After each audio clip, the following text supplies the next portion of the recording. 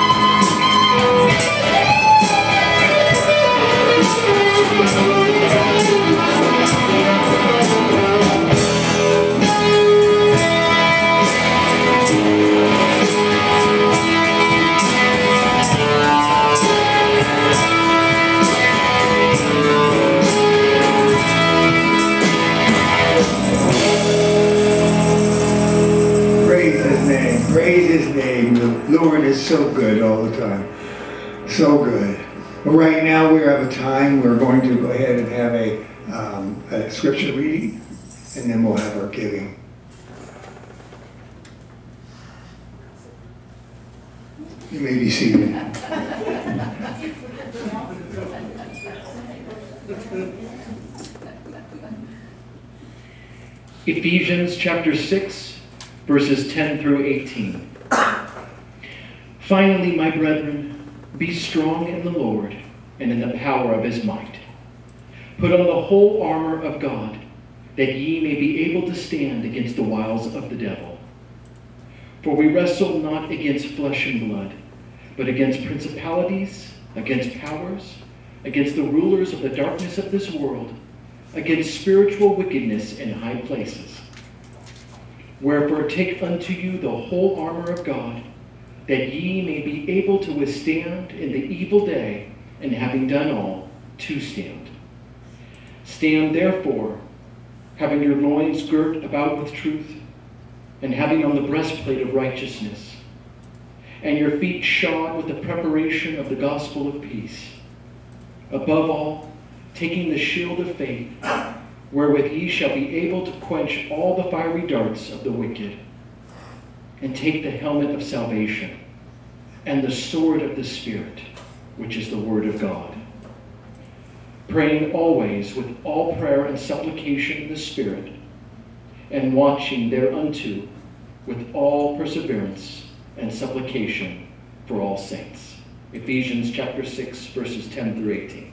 Praise the Lord. We're going to be talking about that today. We're going to be in Revelation and we're going to uh, be, be exploring that and looking at that. Um, can we have our usher come forward today? Um, um, thank you, Tom. We're going to do one called In Christ Alone. It goes like this.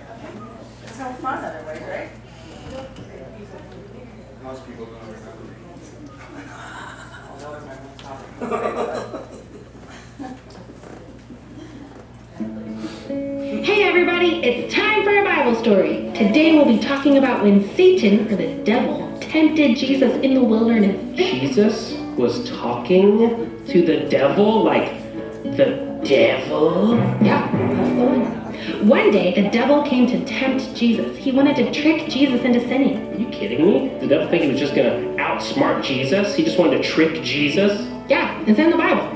Jesus lived a perfect life, but he was human, just like you and me. So he was tempted to do things. Huh, weird. Alright, well, tell me the story then. Jesus was in the wilderness. What was he doing there? Like camping, napping, snacking, making s'mores by the fire, Jesus style? No, no s'mores. Jesus was in the wilderness to be alone with God. He was there for 40 days praying and fasting. Fasting? What's that? Like running super fast? Watch this. I bet Jesus was the fastest kid in his class. What? No, I mean, I don't know. He was just a regular guy who also happened to be God. When the Bible says he was fasting, it means that he didn't eat any food for those 40 days. No food for 40 days? That's like over a month. I can't even go like 40 minutes without food. Why would he do that? Jesus was taking that time, the time you usually use to eat, to get closer to God and pray. So now we know what Jesus was tempted to do. Tempted to eat some dinner. After 40 days, the devil showed up in the wilderness and started talking to Jesus.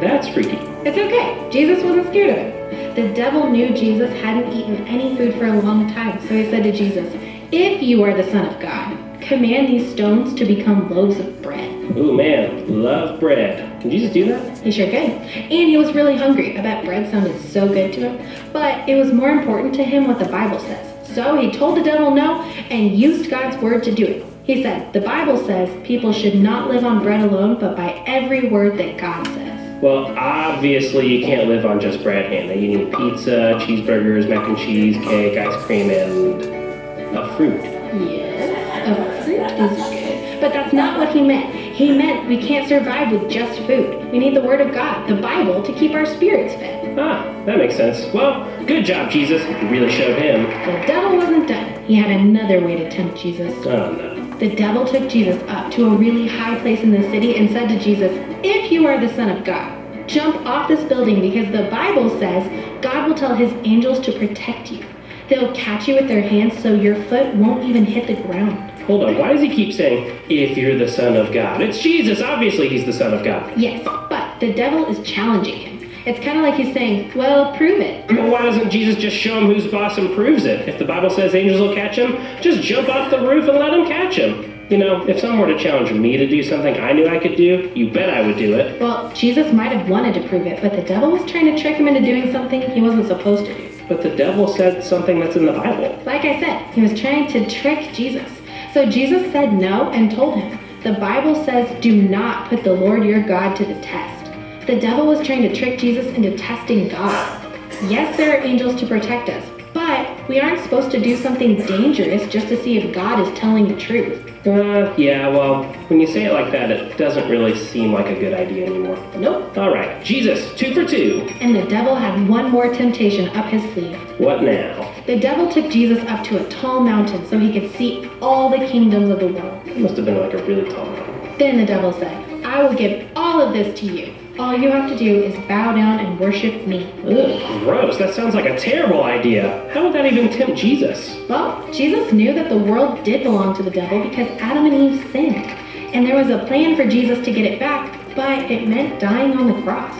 So the devil was telling him, if you do this, it would be all yours without you having to die. It's like, what would you do for a million dollars? But instead, what would you do so you don't have to die on the cross? Oh man, that one's kind of a toughie. Well, what did Jesus do? Then Jesus said, The Bible says, worship God only and only serve Him. So the devil left. He couldn't get Jesus to sin. Of course he couldn't. My boy Jesus can't put nothing on him. Okay, that's enough of that. The end. Well, that was kind of an interesting one for Revelation. We are in Revelation today, and if you would turn there with me uh, to Revelation 17. I heard of a story about a man that was feeling very ill, and he didn't know what the problem was. So I went to see his doctor, and he got a complete checkup, and a bunch of different tests were run. A few days later, the doctor called the man and his wife back, and the doctor said to the man, Sir, would you wait outside? I have a talk with your wife on the office on the inside. Doctor said, Ma'am, would you sit down? I'd like to tell you a little bit about your husband's problem. He has a rare disease that's compounded by stress. I'm telling you, your husband could die unless radical measures are taken. And here's what you need to do. You have to create it for him a stress-free environment. By that I mean every morning and make him a favorite meal for breakfast. Don't ever bother him about bills anymore, troubles, or any concerns. For lunch, it should be a gourmet meal made from scratch and whatever he wants. The same for dinner. Now listen, you are to smother him with affection and tell him you love him constantly. Do this day in and day out, and if you follow this regimen for nine months to a year, your husband will make a full recovery. She said, thank you very much, doctor.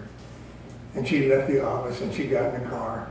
And they were driving home, and the husband said to the wife, well, tell me, honey, what did the doctor say? And she said, you're going to die.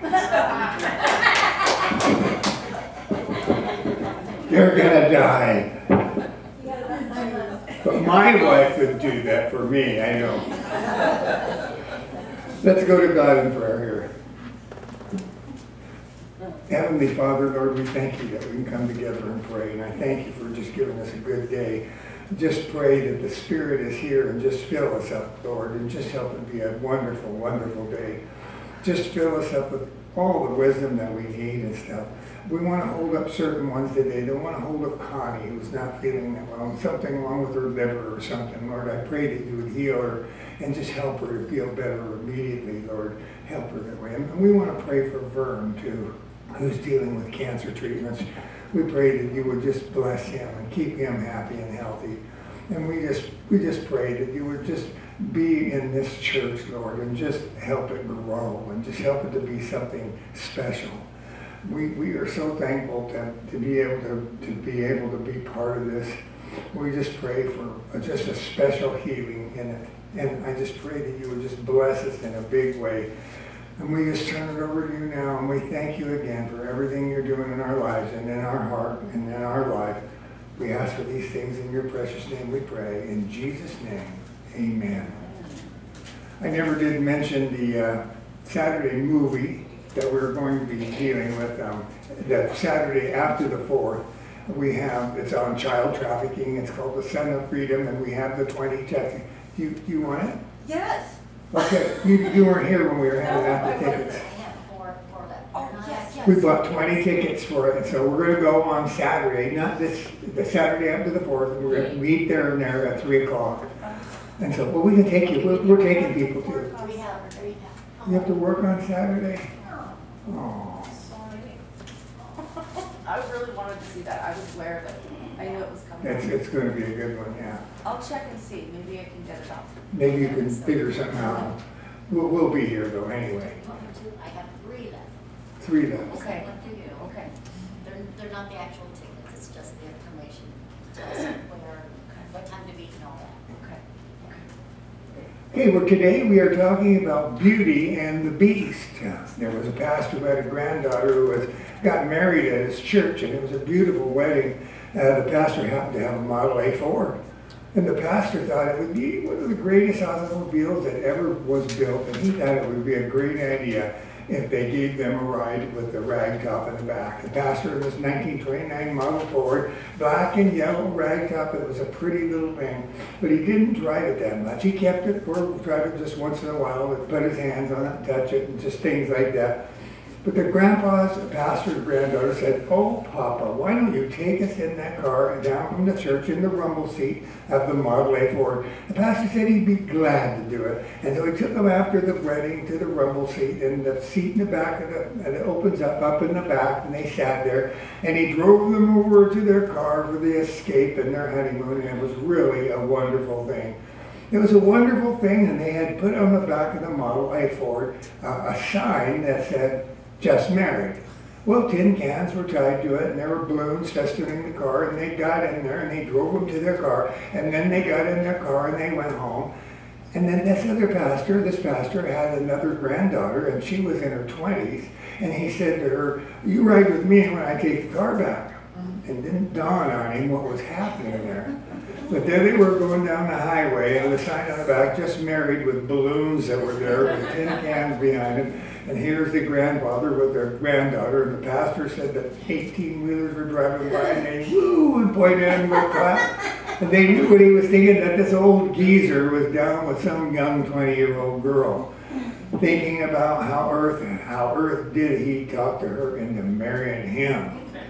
But that's a classic example of what we were talking about for Beauty and the Beast. But the difference is between that episode and this episode that we're talking about Beauty and the Beast is that pastor's, pastor's granddaughter was with him, was probably beautiful without and within. But the beauty that we're going to be talking about is beauty on the outside, but ugly within. Now, beauty is skin deep, but ugly goes all the way to the bone. But beauty is only beautiful outside. So we're going to find out about this beauty and the beast, and it all deals with the second coming of Jesus Christ, which is at the end of the age. The man has always wanted to know the future and look into the future, but so many times he makes awful mistakes. And so many times he makes awful mistakes, and maybe like this weatherman. I heard of a weatherman that had to leave the city and go to another one because the weather didn't agree with him. So often that's true.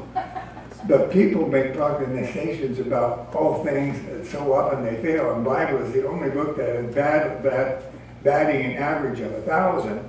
No Christian should be ignorant of prophecy, especially in these days that we live. Because I believe that the shadows of the end of the age is like lightning. Remember, there's no shadow when Christ was here. It was high noon. Now, I believe that the sands of time is running low, and we're standing in the threshold of the second coming of Jesus Christ, the rapture of the church. And the things that are prophesied are imminent. And I believe that Jesus Christ could come before I finish this message. There was a beast, an antichrist, and he's lurking in the shadows somewhere getting ready to take over. Now we need to know because of the intercession factor, and we need to pray because like we've never prayed before. And secondly, we need to know because of the soul winning factor, because we need to get our loved ones and our brothers and sisters and fathers and mothers and children, whoever it may be, into the ark of safety. And we need to know from family instruction matter that we need to prepare our loved ones for things that are coming. So I say we cannot afford to be ignorant. Thirdly, we need to know for a comfort factor because you may think that things are coming apart, but I want to tell you that everything is fitting into the sockets of prophecy. So we need to understand this. Today I'm going to be looking in the 17th chapter and discover mystery woman that I call beauty. And then we're going to discover the beast or the Antichrist, the man of sin. Now, the period of time that we're talking about here is the Great Tribulation. So in Bible tribulation, what we're studying is this. Now, the rapture has already taken place. The church's blood, blood, bought, blood bought body of the Lord Jesus Christ, which is the bride of Christ, has been taken out and is the true bride. Now, the false bride and the false church, the harlot shows herself. The first thing I want you to see is number one, the woman and her mysterious character on your outline. Verse 1 And there came one of the seven angels which had the seven vials, and talked with me, saying unto me, Come hither, I will show thee that judgment of the great whore that sitteth upon many waters. Well, what does this mean? Well, I'm going to tell you what it means right now. The woman is apostate, represents an apostate, the false worldwide, outline, religion. It's a false worldwide religion. Because the woman in the Bible prophesies is always a symbol of religion. And the church is what the Lord Jesus has called what? The bride of Christ. But this is not religion, this is relationship. God is making one new man. And we'll see that later. Here is a false religion, is antithesis of what I'm talking about, describing as a woman. This is a false church. The harlot, the whore, your outline, the Antichrist, if you will, because the Antichrist is going to have an anti-church. Loyalty to Jesus called spiritual purity. Let's look at the scripture. Look at James warned the church with James 4 4. He says this. He says, um, ye adulterers and adulteresses, know ye not that friendship with the world is enmity with God? Whosoever therefore will be a friend of the world is an enemy to God. Well, that means if we flirt with prostitute world, this harlot world, we become an enemy of our Lord and Savior God. and He's the bridegroom. Look what it says in 2 Corinthians 11, 2. It says, For I am jealous over you with godly jealousy. For I have espoused you to one husband, that I may present you as a chaste virgin to Christ. The church is the virgin that's going to be presented to the Lord Jesus Christ, the bridegroom. Now notice verse 2. Now this woman is one who seduced the nations. And here it is, in verse 2, it says, With whom the kings of the earth have committed fornication. And the inhabitants of the earth have been made drunk with the wine of her fornications. So the woman stands for false religions. Now, what does the Babylon stand for? Babylon stands for false religions also. Now, the word Babylon is a code word. We use code words today, like Wall Street. We talk about Wall Street, and they're talking about literal street. No, we're talking about what they're talking about more than that. They're talking about the economic system when we say Wall Street. We talk about Madison Avenue. We're talking about um, Avenue named Madison. No, we're talking about a system of merchandising on Madison Avenue. And now when he uses the term Babylon here, he's talking about it more than the Babylon, the city, the true Babylon. However, it is rooted in that, that it's just Wall Street, it's just rooted in true street. And you can walk down Wall Street right there in, in, uh, in New York, and it is a true avenue, just like Babylon is a literal place in Iraq. But the Bible uses the term Babylon here, uses the term in a larger sense. Babylon goes back in history. Babylon is great in antiquity. Babylon is great in antiquity. And Babylon is great in prophecy. Babylon is, in your outline, the cradle and the grave of all false religions. If you go back to chapter 10 and 11, you would find that the Babylon was built, first of all, by a man named Nimrod in your Bible. Nimrod. The very name Nimrod means rebel. Nimrod is a symbol or a type or a prophecy of an antichrist to come. He was an enslaver of men. He was a hunter of men. He built a tower, a tower of Babel, whose top was unto heaven. He wasn't trying to build heaven in the stratosphere. That's not what it means. It means at the top of the tower he placed a pagan worship. That's what it means there. And it means unto, it was unto heaven. And it was there that man first began pagan, idolatrous worship on your outline. All false religion roots back to Babylon so long ago. Look what it says in Daniel. Daniel 5 7, it says this. The king cried aloud to bring in the astrologers, the Chaldeans, and the soothsayers. And the king spake and said to the wise men of Babylon, Whoever shall read this writing and show me the interpretation thereof shall be clothed with scarlet, and have a chain of gold about his neck, and be shown to be the third ruler of the kingdom. Daniel was in Babylon, and the king had a dream that needed to be interpreted. Notice what it was saying bring in the astrologers, the Chaldeans, and the soothsayers. Do you see how false religion is rooted there as far back as in Daniel's time? They had the magicians, they had their soothsayers, they had their astrologers, and Babylon has been all throughout history a den of demons. The world today is haunted by the ghosts of Babylon. The Bible speaks of her wine of fornication. Now, what that wine was bottled centuries and centuries ago, but men are still getting drunk on that wine today. Look at astrology. Did you know in the world today, one billion people practice astrology? Many of them are American. By the way, if you have a horoscope in your home, get rid of it now.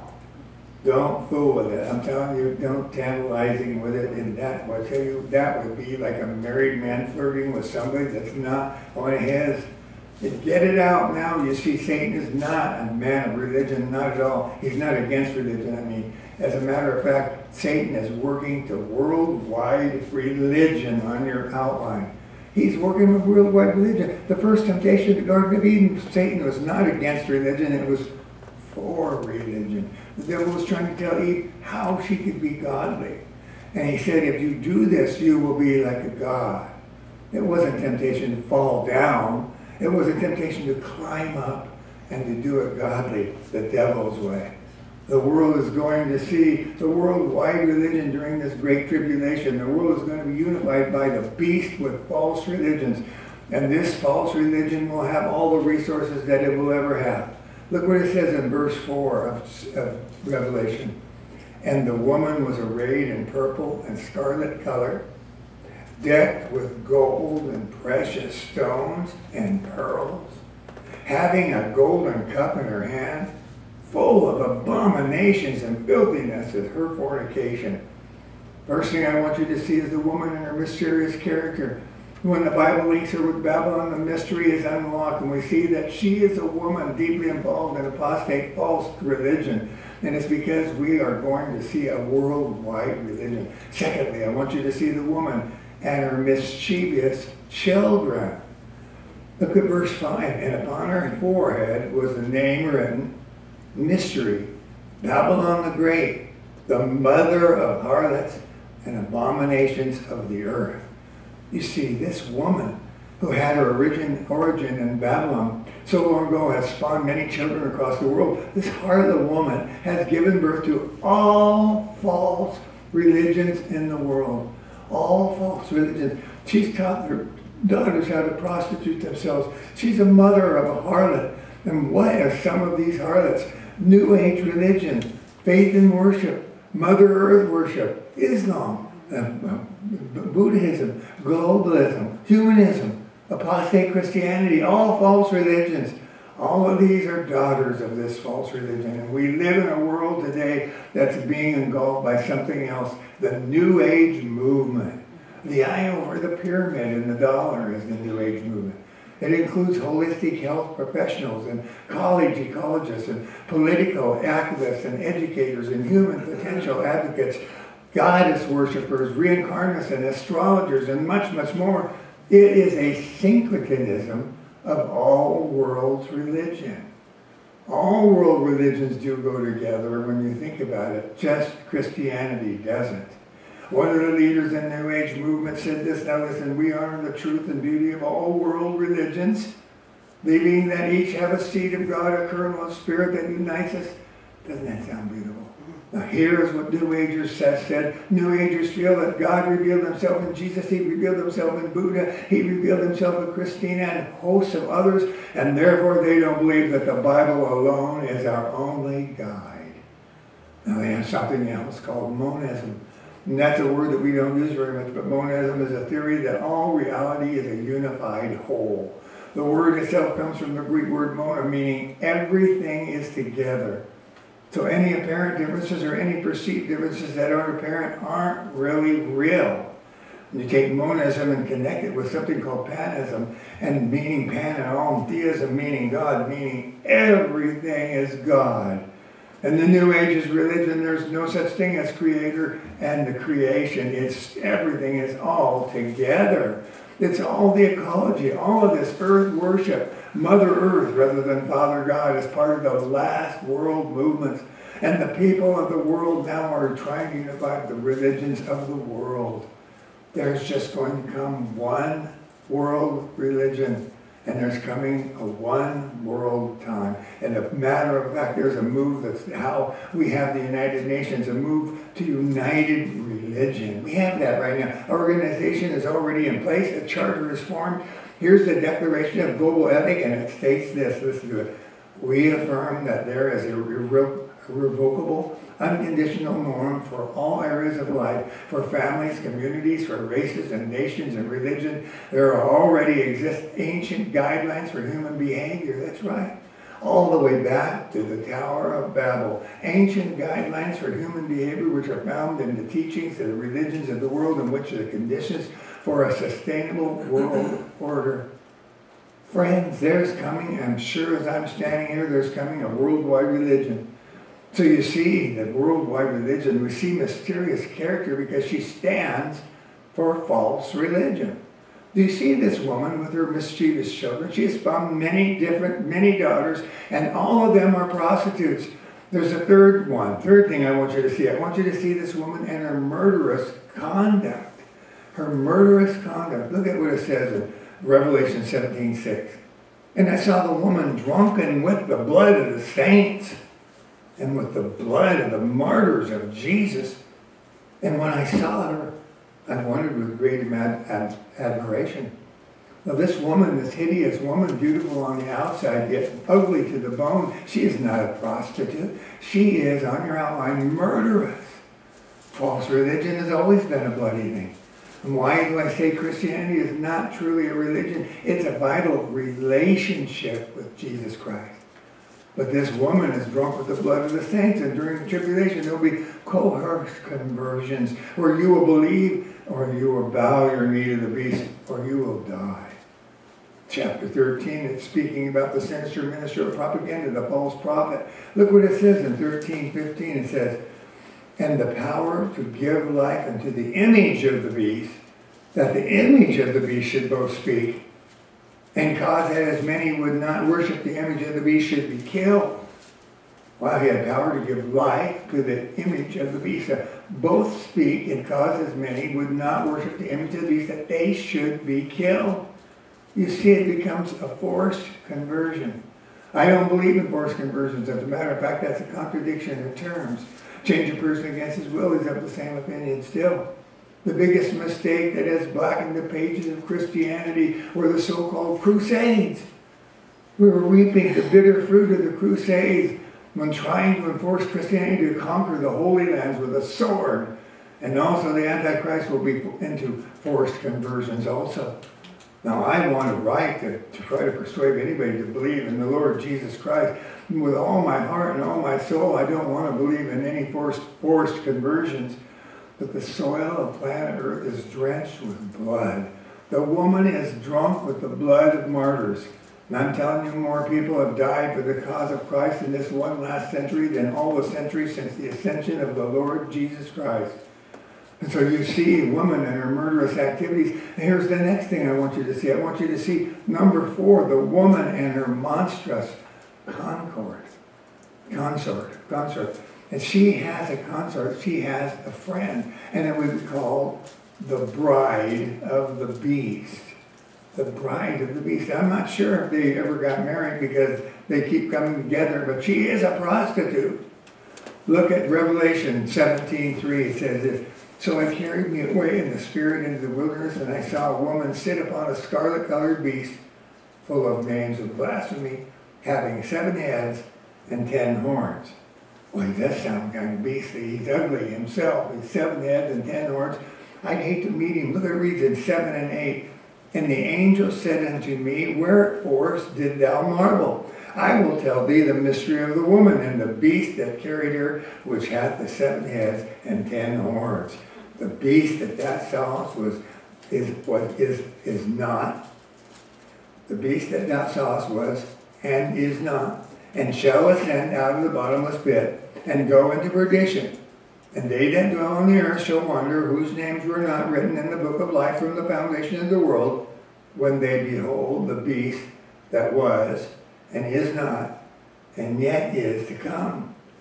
Well, that sounds kind of funny there. Look at this for a very moment. I'll try to clear it up. The beast is the Antichrist in this kingdom. And that's what the beast represents, just as the woman in Babylon represents false religions. I want you to see the ultimate, ultimate alliance of church and state. Now, I don't believe that the alliance of church and state, if you mean a church-run government, a government-funded church, I don't believe in that. I do believe in the right for every freeborn American to express himself in matters of politics or religion or whatever it is because I believe in that. But I don't believe in the separation of God from government. But then let's look at this beast. And if we pick apart for a moment, let's look at the place from which this beast comes.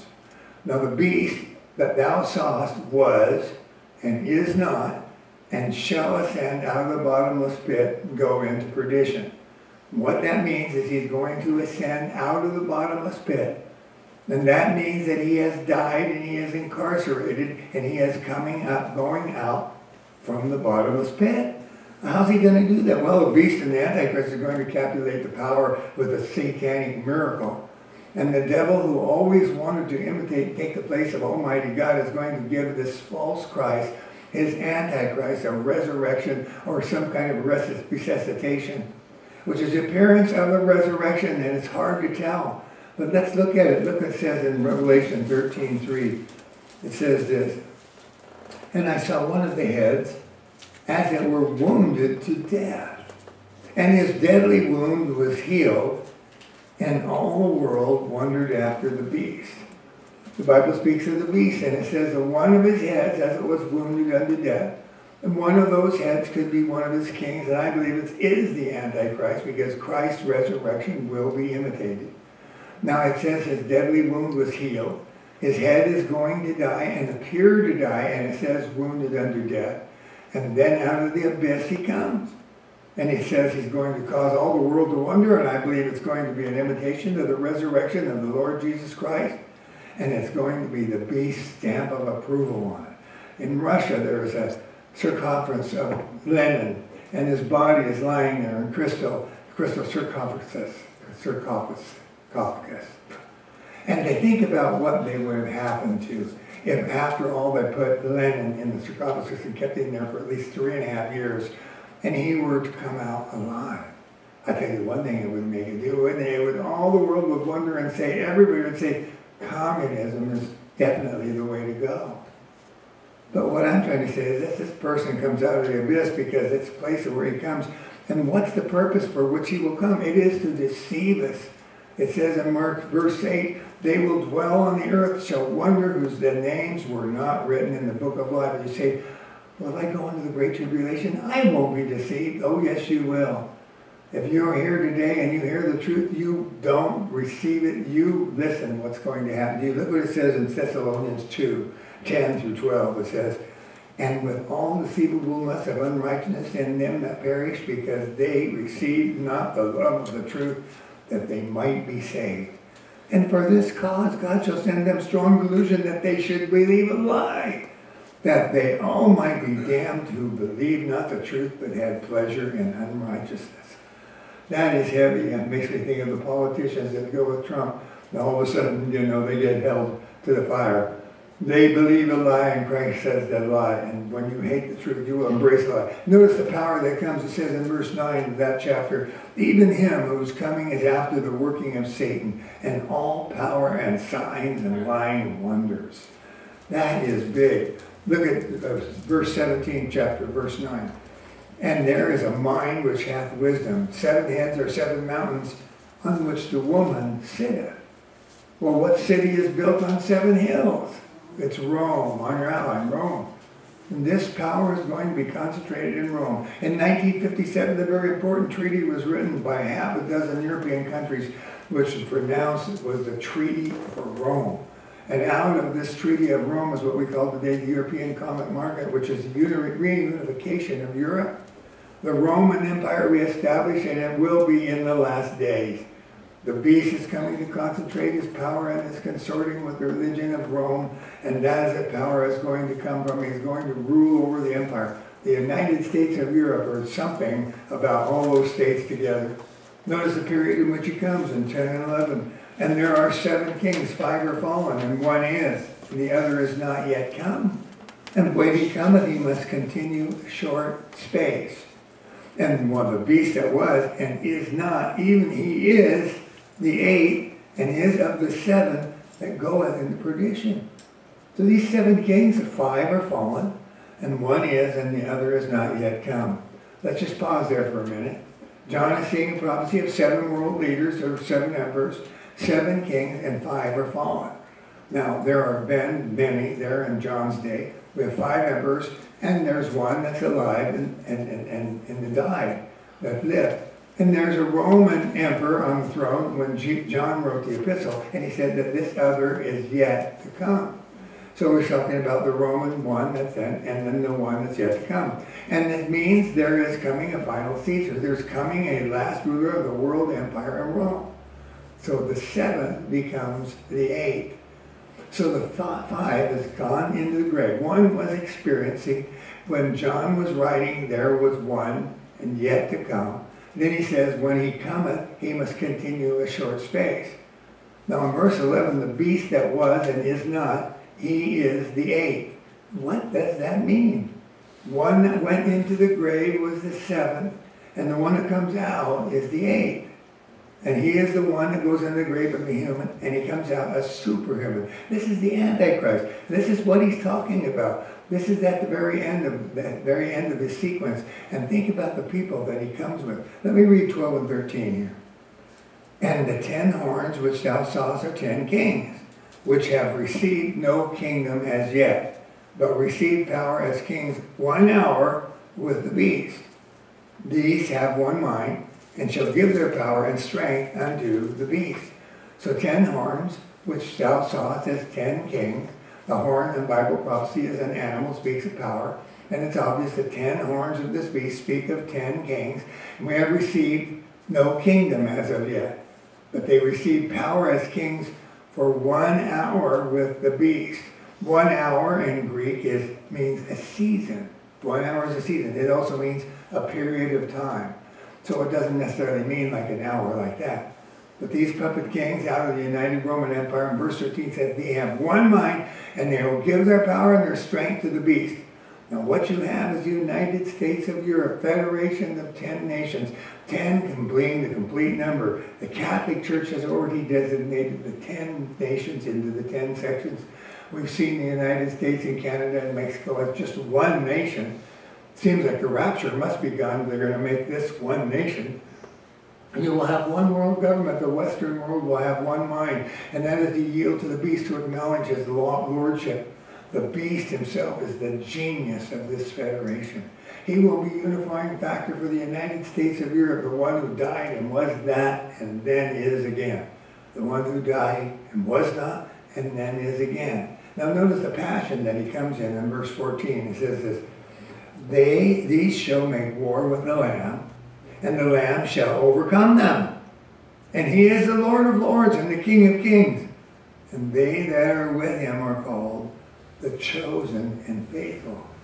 These may shall make war with the Lamb, but the Lamb shall overcome them. Now, do you think that the battle of Armageddon and all the nations of the world, when they come against Armageddon, that they're primarily coming against Israel? No. No, they're primarily against Israel, but against the King of Kings and the Lord of Lords. You see, the devil in his insanity will still think that he can overthrow the Lord. And that's the reason that I call the study the triumph of the Lamb. Because the Lamb is the lion. Now the beast, he comes to make war with the Lamb, and he has one passion that has defied the Lamb. The beast will strut on the stage of history and he'll meet with his demise there at Armageddon. And all those who follow the beloved beast will discover that they made a poor choice, a poor decision. Let's move on to the fifth and final point of this chapter. You say, well, Pastor, you don't explain it full enough. I'm trying to get through chapters in a few minutes. But let's look at number four, number five. At the woman, her momentous calamity. What's going to happen to the apostate religion? This is going to happen to the scarlet woman. This beauty, who is really ugly, was speaking of the beast and his armies. Let me read it, 16 through 18. And then ten horns, um, 15 through 18, and 15 through 18 too. And he saith unto me, The waters which thou sawest, where the whore sitteth, are peoples, multitudes, nations, and tongues. And then the ten horns which thou sawest upon the beast, these shall hate the whore, and shall make her desolate and naked, and shall eat her flesh, and burn her with fire. For God hath put in their hearts to fulfill his will, into the king's hearts to fulfill their will, to hate her, and to agree to give their kingdom unto the beast, until the words of God shall be fulfilled. And the woman which thou sawest is that great city, Babylon, which ripeth, which reigneth over the kings of the earth. What's going to happen is this, the Babylon monster is going to turn around and destroy, on your outline, the Babylonian mother. Years ago, kids used to sing a little song, when she sailed away on a happy summer day on the back of a crocodile. Mr. Croc winked his eye and she waved a fond goodbye on her face there was a smile, but at the end of the ride, the lady was inside and a smile on the crocodile. And what does that mean exactly? It means, dear friend, that the woman ought not to ride the beast because he's going to turn on her. He's going to devour her because he is going to detest her. First of all, he's going to hate her because the honeymoon is over. And just like any marriage of convenience, then he's going to desolate her. And then he's going to see all the riches that she has, and he's going to want them all for himself. And then he's going to disgrace her, he's going to make her naked. He's going to expose all of her moral vileness, and the scandals will be exposed of all the religions and all the scandals and everything. And then he is going to devour her, he's going to eat her flesh, and then he's going to destroy her, he's going to burn her with fire. Now, that's the reason that we're going to see in the next chapter that God speaks about Babylon Next week, we're going to be talking about Babylon. God says, Come out of her, my people. Why is Antichrist going to do this? For several reasons. One, he wants to be the ruler of the world and he doesn't want any competition, not even with, your religion. He is going to destroy her for providential reasons. Notice how religion is the most powerful thing on earth. It's so powerful. We don't use it, we don't use it, don't, don't, don't use it, it doesn't really help us. But it can be so powerful, our faith. The Bible says God will put it in their minds, and did you know the devil is really God's servant? The Bible doesn't rule, God rules, because the devil is on a leash. And then he's going to destroy her for political reasons. He wants to rule the world. I wish I had more time to explain, but friend, that's the story of Beauty and the Beast. Listen, there's coming, it's coming like gangbusters, a world religion and a world government. If you don't believe in this world or this government, you belong to Jesus Christ. He is the King of kings and Lord of lords. You don't belong to a harlot church. You belong to the bride of Christ. In these days right now that we're not in the great tribulation, the coming events cast a shadow ahead of time. I want to tell you that you've got to be loyal to the heavenly bridegroom, the Lord Jesus Christ. You are the bride of Christ. Don't flirt with false religions. Oh, Pastor, I need to know about all these other religions, so I'm going to study all the religions of the world. Do you know what you remind me of when you say something like that? You remind me of a married man that wants to see what all the other women of the world are like. Listen, you are true to Jesus. You don't have to study all the other religions. You just know the Lord Jesus. And all of you married men, never flirt with another woman. Never cease to flirt with your wife. You be true to Jesus Christ and you get a bulldog grip on the truth. Because coming to see you, that there is going to come great pressure, and you're going to see Jesus Christ as Lord. So you've got to say it, and you've got to mean it. And that is the story of Beauty and the Beast. Let's pray. If you're not saved, the best advice to you to give your heart to Jesus, and not today, but right now. I want you to pray. In this prayer, you're going to ask Jesus to come into your heart. Let's pray right now. Heavenly Father, dear Jesus, I know I'm a sinner, and I need to be saved, Lord. So help me and trust me. Trust, I trust you today, Lord, to help me in my ways. Help me strengthen my ways and fill, fill my life with boldness and help me be a good example for you, Lord. Help me do something that would that would just reassure myself that I'm trying to do what I want to do. And Lord, I pray that you just bless everybody here in a big way with boldness and for what they would share with others and tell them others about the truth of you. So we thank you again, Lord. We take communion today and we pray that we would examine ourselves and, and look at our ways and see the falseness in our ways and just help us, Lord. Help us with finding out what we need for ourselves. We need you, Lord, and we thank you again for everything. And we come to you and we ask for all of these things. In your precious name we pray. In Jesus' name, amen. Well, we have a communion song. We're going to do communion right now. And uh, Dom, would you go ahead and help us with this? We're going to sing, What a Friend We Have in Jesus. No,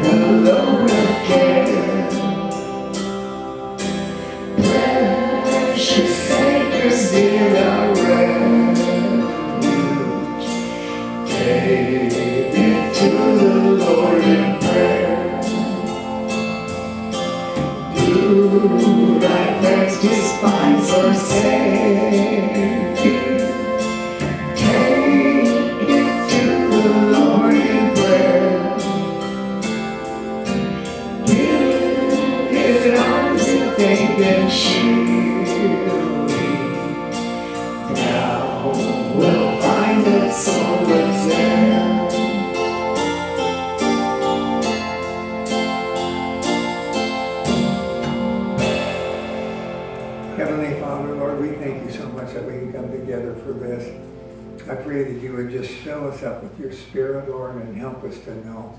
Help us with the blood, Lord, to know that you suffered all these different things for us, Lord, whether it be pain or whether it be sickness or anything, but you endured all things and you came through without without a hitch, Lord, and you came through smelling like a rose. And so we pray that you would just bless us and our, our faith when it comes to healing and stuff. Lord, for the dispensation of the blood, we are so thankful that we are have favor with you now. That through this faith that we have in you, that we can that we have faith, that we can go ahead and just experience the joy that comes from knowing you, Lord, and this dispensation of peace and goodness. It is such a wonderful thing, Lord. And if we just fill ourselves up with this wonderfulness and we can share it with others and tell them about how, how we want them to be a part of this church and how we want them to be a part of the family of God. And so, Lord, we thank you for your word. We thank you for everything you're doing in our life.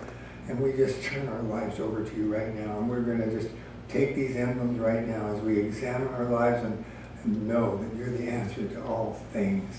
Let's take our emblems right now.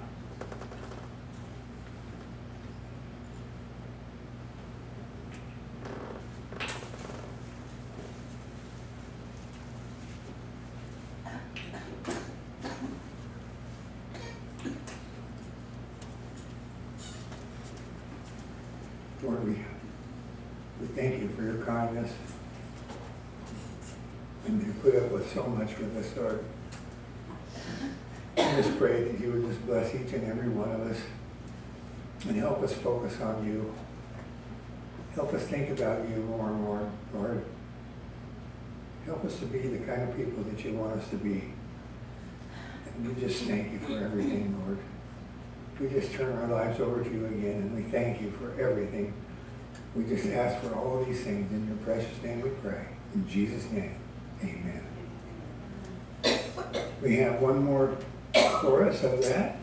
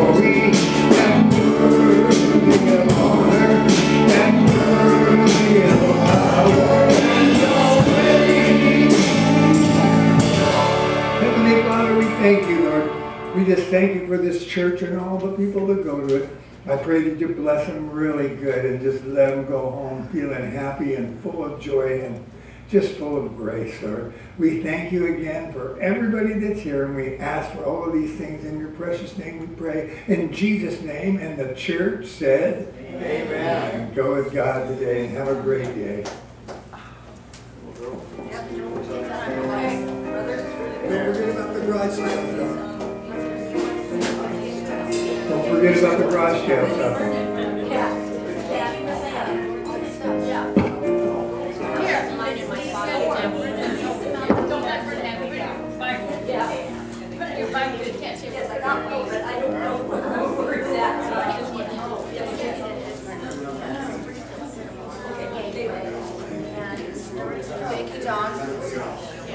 welcome.